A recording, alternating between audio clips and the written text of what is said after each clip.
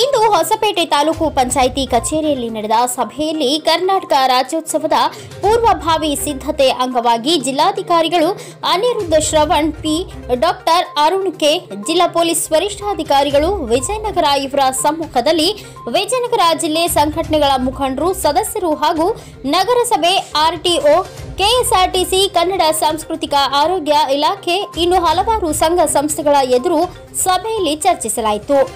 ಕನ್ನಡ ರಾಜ್ಯೋತ್ಸವದ ಬಗ್ಗೆ ಪ್ರತಿಯೊಬ್ಬರ ಅಭಿಪ್ರಾಯ ತಿಳಿಸಿ ಕನ್ನಡ ರಾಜ್ಯೋತ್ಸವದ ಅದ್ಧೂರಿಯಾಗಿ ಮಾಡೋಣವೆಂದು ನಿರ್ಣಯವನ್ನ ತೆಗೆದುಕೊಳ್ಳಲಾಯಿತು. ವರದಿಗಾರ ಮಾಲ್ತೇಶ್ ಶೆಟ್ಟರ್ ಕಿಷ್ಕಿಂದ ಟಿವಿ ಹೊಸಪೇಟೆ. ಗ್ರಾಮ ಕಾಯಕ ಮಿತ್ರರು ನಿಮ್ಮಲ್ಲಿ ಅವ್ರಿಗೆ ಯೂನಿಫಾರ್ಮ್ ಇದೆ ಅಲ್ವಾ? ಇನ್ನು ಇದರ ಜೊತೆಗೆ ನೆಹರು ಯುವ ಕೇಂದ್ರ ಇತ್ಯಾದಿಗಳು ಯಾರು ಇಲ್ಲ. ಬಟ್ ಯಾರಾದರೂ ಸೇರಿದ್ರೆ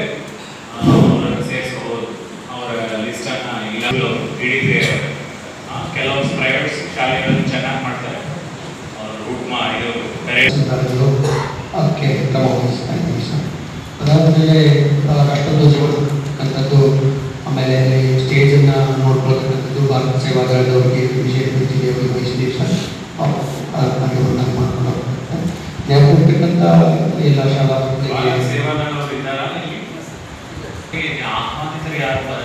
ಅಂದ್ರೆ ಏನಪ್ಪ ಜಿಲ್ಲಾ ಪಂಚಾಯತಿಯಲ್ಲಿ ಬರಬೇಕಲ್ಲ ಜನ? ರೂಲ್ ಆಹ್ವಾನಿತರಾಗ್ತಾರೆ. ನಮ್ಮ ಜಿಲ್ಲಾ ಮಂತ್ರಿಗಳಿರ್ತಾರೆ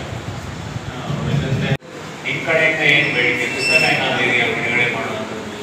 ಅದು ಬರಲಾಗಿದ್ರೆ ಅದರಿಂದ? ಗೌರವ ಕೊಡೋಕೆ? ಬರ ಸಾಕಷ್ಟು ಮಂದಿ ಇದ್ದಾರೆ ಸರ್.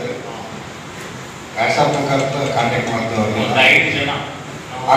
ಐದು ಅಂದ್ರೆ ಸ್ವಲ್ಪ ಐದರಿಂದ ಹತ್ತಾರು ತೊಂದರೆ ಇಲ್ಲ. ಸನ್ಮಾನ ನಾವು ಮಾಡ್ತೀವಿ ಜಿಲ್ಲಾಡಳಿತ ವತಿಯಿಂದ ನಾವು ಸರ್ಟಿಫಿಕೇಟ್ ಅವ್ರ ಬಗ್ಗೆ ಅವರಿಗೆ ಸನ್ಮಾನ ನೀಡೋ ಕುರಿತು ಎಲ್ಲರಿಗೂ ಒಮ್ಮತ ಇರಬೇಕು ಆಗಲಿ ಅವರು ಕಾಂಟ್ರವರ್ಷಿಯಲ್ ವಿಚಾರಗಳು ಸಾರ್ವಜನಿಕ ಸಂಪರ್ಕ ಇಲಾಖೆಯವರು ಎಲ್ಲ ವ್ಯವಸ್ಥೆ ಆಗಲಿ ಕೆ ಎಮ್ ಎಫ್ ಕೂಡ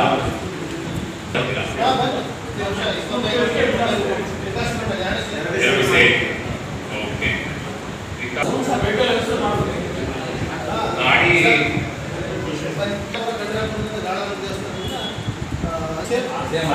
ಎಷ್ಟು ಮಂದಿ ಜನ ಅಂದ್ರೆ ನೀವು ನೀವು ಒಳ್ಳೆ ಇದಕ್ಕೆ ಇನ್ನು ನಾಳೆ ಇನ್ನೊಬ್ಬರು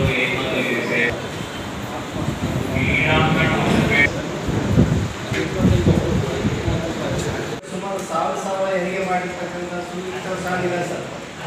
ಅವ್ರನ್ನ ನಾವು ಎಷ್ಟೇ ಹೇಳಿದ್ರು ಆ ಈಗ ನವೆಂಬರ್ ಆಗಿರೋದ್ರಿಂದ, ಸರ್, ನವೆಂಬರ್ ನಾಲ್ಕು ತಿಂಗಳು ಆಗಿರೋದ್ರಿಂದ ಇಂಥ ಟೈಮ್ನಲ್ಲಿ ನಮ್ಮಂತರ ಬುದ್ಧಿವಂತರಾಗಿ ಹೇಳಿದ್ರಿ ದಯವಿಟ್ಟು ಇಲ್ಲೊಂದು ನಮಗೆ ಜಿಲ್ಲಾ ಭವನ ಮಾಡಿಕೊಟ್ರೆ ಈಗ ನಿಮ್ಗೆ ಹೆಂಗೆ ನಾವು ಏನೋ ಬೇಕಂದ್ರೆ ಎಸ್ ಪಿ ಹತ್ರ ಡಿ ಸಿ ಹತ್ರ ಹೋಗ್ಬೇಕಂತ ಬರ್ತೀವೋ, ಕನ್ನಡ ಭವನ ಸಾಹಿತ್ಯ ಭವನ ಅಂತಿದ್ರೆ ಇಂಥ ಸಾಧಕರನ್ನು ಗುರುತಿಸಿ ನಾವು ಮಾಡ್ಬೇಕಾಗಿ ಹಂಗಾಗಿ ನಾವು ಕನ್ನಡ ಭವನಕ್ಕೆ ಯಾವುದೋ ಒಂದು ಇದರಿಂದ ಹಿಂದೆ ನಮ್ಗೆ ಆಗಿಲ್ಲ ಸರ್. ಅದು ಆಗಲು ಸಹ ಸ್ಥಳದ ಕೊರತೆ ಇದೆ.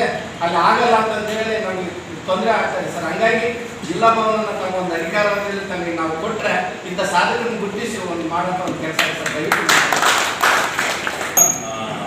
Kannada like him